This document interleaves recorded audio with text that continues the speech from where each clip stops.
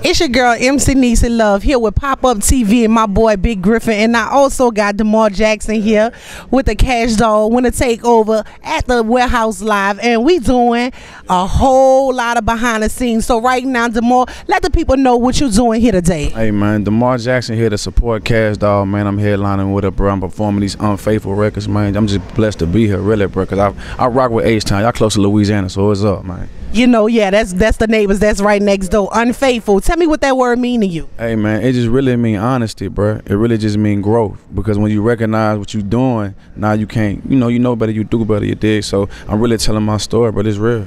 So unfaithful is the new project. Yeah, definitely, man. Unfaithful, the new project. Go get it. It's available everywhere: Apple Music, Tidal, Spotify, Live Mixtapes, etc., etc., etc. So when you say we're next door, what part of Louisiana are you from? Yeah, I'm from DeRidder, Louisiana, Southwest 337, Beauregard Parish, man. I just left from the crib too, man. It's up though, yeah. Absolutely, and I'm from New Orleans myself, but we live in H Town, putting it down, working hard, grinding. You know what I mean? Putting everything right here in front of your face for you to see it. Mm. Live with Pop Up TV. So Damar, what's next? Hey, man. I'm trying to think, really, bro. I got so many shows coming up, bro. I got one in Atlanta on the 22nd. I go to Dallas with Cash Doll next week, and I go on tour me and Lucci, bro. So it's up. I got a project dropping, so y'all just stay tuned, man. It's a lot of stuff going on, man. I appreciate y'all for having me, for real. Of course. So how does that make you feel to be so busy? What did that? What does that mean for you? Man, I wake up don't even know what day it is, man. Like three hours of sleep, so it, I, it really just mean grinding me.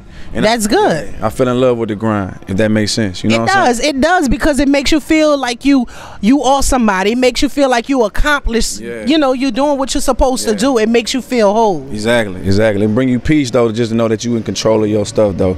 So you gotta just work on your own stuff on, in your business and on your business. You did. Absolutely. So right now, I see that they setting up with all of your gear and your condoms. Condoms. So tell me, why would you like to be able to give condoms out or even support the the community with condoms when you coming to do a show? Man, really, bro. A lot of dudes leave my show, man. They leave with a girl in their arm. You know, I want them to be safe. Like sometimes it might go down in the car, it might go down at the show, it might go down wherever. So just be prepared. And I'm really just making sure people just safe with their situation. You hear me? Because the music do make you feel some type of way. You hear me? So it's up. That's very mindful of you. Thank you, man. I appreciate it. I appreciate the fans for rocking with it because they actually work. Absolutely. So you're live, pop up TV, my boy Big Griffin. You already know what it is. Shout out to Big Griffin too, man. It's up, man. Absolutely. Y'all heard it first. Right here.